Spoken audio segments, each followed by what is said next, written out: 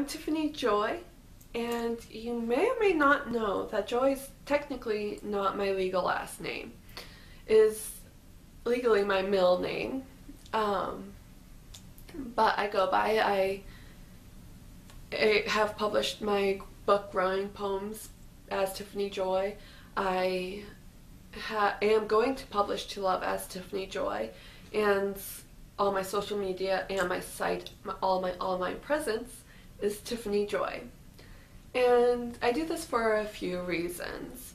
One, it's a simple, the la- simple fact that my last name falls short. It doesn't sound like some artist or something that sounds pretty. Simply, it, it's a one syllable last name with a constant at the end that just makes it seem like it, my name sh- stops short or goes too long.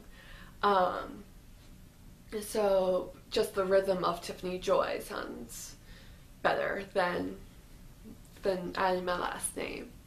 Another reason is branding wise. I want to be known as a joyful person, as a happy peppy person, and Tiffany Joy does that.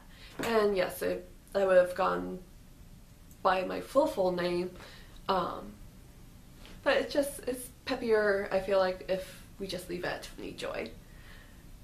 The third reason is because I do plan to be married in the future.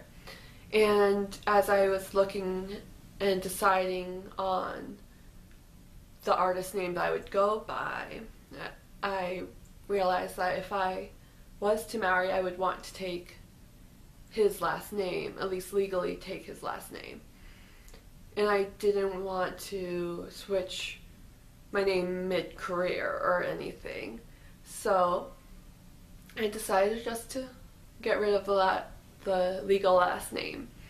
That way I can have the option of taking my future husband's last name and it just seems easier that way.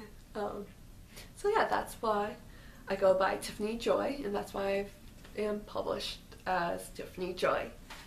Alright, thank you so much for watching, I'll see you next time. Bye-bye.